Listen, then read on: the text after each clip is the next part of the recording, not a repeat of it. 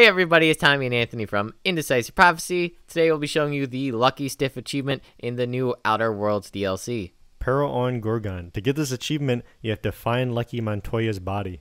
On Gorgon, believe it or not, there will be this area in the bottom right corner of the canyon, and it, you can see it's right down here. There will be a bunch of buildings, and the area is like called right there. Stronghold.